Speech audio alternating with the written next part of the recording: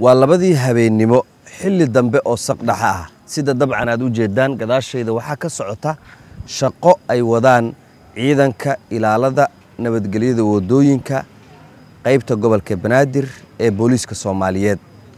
Shaqadan socota waxa ay tahay nidaam kala hagaya gaadiidka iyo dadweynaha. Calaamado ka turjumaya nabadda waxaa halkan ku sugan xilligan dambe taliyaha ciidanka ilaalada nabadgelyada waddooyinka qaybta gobolka banaadir ee booliiska soomaaliyeed genaraal bishaar abshir geedi oo isagu noo sharaxi doona. Shaqada caawa halkan laga hayo iyo muhiimadda ay shaqadani u leedahay badqabka muwaadiniinta soomaaliyeed ee ku nool magaalada caasimadda ah ee muqdisho. Meeshaan calaamadan cad waa calaamad nabadgelyo.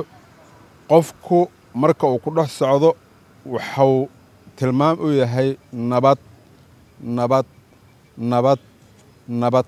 Yuu ka nabadgelayaa marka calaamadaas caddaanka oo la isku raacsan yahay calaamadda rinjiga kalarka nabadda inuu yahay yaa la rabaa inuu ka nabadgalo qofkaas. Waxaa la rabaa inuu ka nabadgalo gaadiidka ka soo socda dhinacan. Dhinacan gaadiid ka soo socda waxaa amraayo oo joojinaya calaamadda magacan stob la yidhaha. Stob waxaan u bedeli doonnaa joogso haddii ilaahay yidhaahdo laakiin qofka gaariga wada mas'uuliyad gaaraha saaran waxaa laga rabaa qofka gaarigaas wada hadalkan wacyigelina ugu talagalna macna qof kasta oo gaari wada waxaa laga rabaa marka isgoyska uu ku soo dhowaado in uu isticmaalo ereygan stob oo isu bedeli doono af soomaaliya joogso insha allahu tacaala oo aa ujeedaan marka waxaa laga hadlaya waxaa waaye waa inaad mar kasta ka joogsataa dadka ama xaggay dadku taagan yihiin dhinacaas midigtay taagan yihiin ama beexday taagan yihiin. Dan dhinacaas kale jidka sidoo kale wuxuu ka soo socdaa jidkaas lambar afar uu ka yimid. Intaanoo kalea laga samaynayaa dhinacaas oo lambar afar. Midkanna wuxuu ka yimid dhinaca dabka. Intaanaan ka samayna caawa tusaale ahaan isdhaaf ayaa waxaa u yaalla. Calaamadda stob ama joogso af soomaaliga sida aa u taqaanaan iyo calaamadan dadku ay ku karowsgaraynayaan macnaha jidka. Marka waxaa lagaa rabaa calaamadda stob markaa aragto dadka ama xagga jooga ama xagga jooga in aad xuquuqdooda waddada si ay u goy lahay inaad siisaan. Haddii ilaha yidhaahdo marka calaamaddaanu nabadgelyay ka hadlayan. Rinjigu nabadgelyu ka hadlayaa inaad ku socoteen nabadgelyu ka hadlaya maahan kan madowgaa maaha nabadgelyadu. Kan madowgaa kan caddaankaa waaya nabadgelyada. Nabad nabad nabad nabad nabad nabad nabad yacni nabad. Nuxurku waxaa waaye inuu qofkaas si nabadgelyaa uu jidka ku gooyo cidda laga raba inuu ka nabadgalana cid kale maahan waa qof kasta ee laamigan isticmaala oo baabuur wada haddii ilaha yidhaahdo intaas wacyigelina ugu talagalnay. Wacyigelintu waa badan waa ballaaranaysaa insha allahu tacaala. Waqtigaanna siinaynaa laakiin haddeertaan yacni in aan inta aan calaamadaha dhammaystirayno oo shaqadan aan xaqiijinayno in dadka gaadiidka isticmaalo dhallinyarada u badan inay sii ogaadaan ayaan ugu talagalnay. Taliyaha taraafikada qaybta gobolka banaadir jenaraal bishaar abshir geedi iyo ciidankiisa ilaalada nabadgelyada waddooyinka xalay waxay u ahayd habeen dheer oo shaqo. Waxay qaybo ka mida laamiga waddada maka almukarama ka hirgeliyeen calaamadaha kala haga gaadiidka iyo dadweynaha ee loo yaqaan samaa faraha kuwaas oo ka mid ah shuruucda caalamiga ah ee waddamarista horeyna aan uga jirin dalkeenna tan iyo burburkii.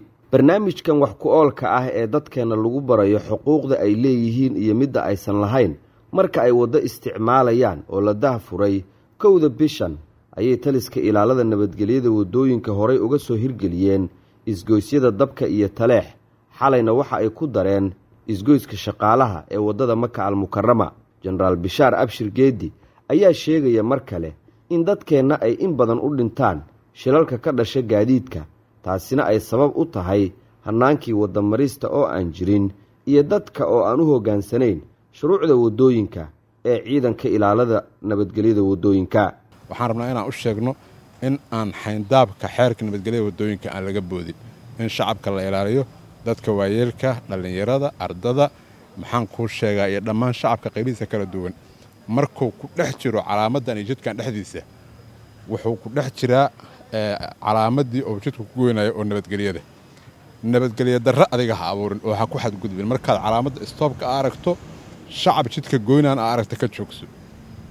Qofka shacabkana waxaa laga rabaa calaamaddaa markaad dhex marayso haddii xadgudub darawal uu kugu sameeyo oo maxaan kuu sheegaa adoo calaamadda dhex maraayo oo dhibaato kugu geysto dhimashaa ka dhalan karta dhaawacaa ka dhalan kara wax kastaa ka dhalan kara yacni mas'uuliyad darradii ka dhalata meeshaas waxaa qaadanaya cidda calaamaddaas dhexdeeda kugu dhibaataysay. Laakiin haddii adiga calaamaddii aan kuu samaynay macnay ku fadhisaa calaamaddan? Meel kuu jirta shan mitir ama intay rabto kuu jirta? Haddaad inta ka weysato aad jidka ka goomaagto ee shil uu kugu dhaco. Waxaad noqonaysaa qof aan wax xuquuqa iyo wax xisaaba midna aan ku lahayn meeshaas wixii kuu gaara marka adigana muwaadin waxaa lagaa rabaa ku aruur.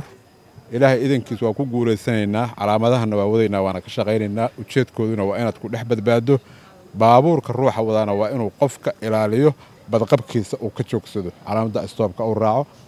Hannaanka loo yaqaansamaa faraha ee sharciyada waddooyinka oo u kala baxa dhowr nooc sida kuwa laamiga lagu xardho tabeelayaasha la suro dhinacyada waddooyinka iyo layrarka bixiye calaamadaha jaallaha buluugga cagaarka iyo midabada kale ee kala duwan ayaa dhammaantood ah badqab bulsho iyo bilic soo celinta caasimadda dalka ee muqdisho. Sida muuqata jenaraal bishaar abshir geeddi iyo taliskiisuna waxaa ka go'an in caasimadda laga hirgeliyo shuruucdaas muhiimka ah si aynu caalamka kale ula jaan qaadno maxamuud soofaysan shabeelle t v muqdisho